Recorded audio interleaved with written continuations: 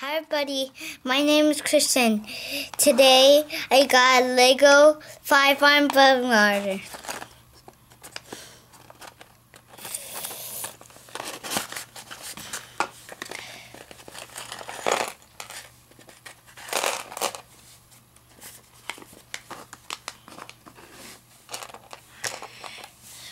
First, you take this hand joint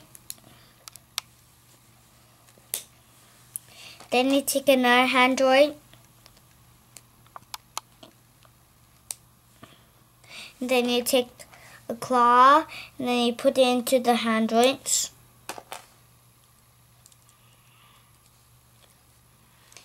You get some more, get these, a black arm and a beige kind of arm.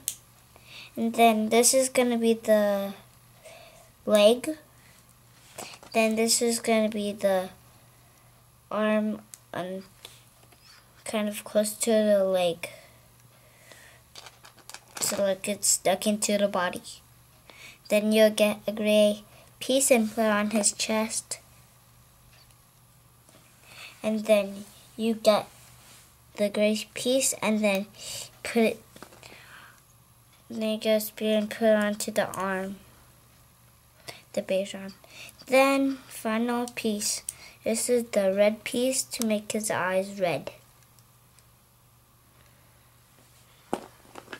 This is how you make a Lego five arm bone water. Bye.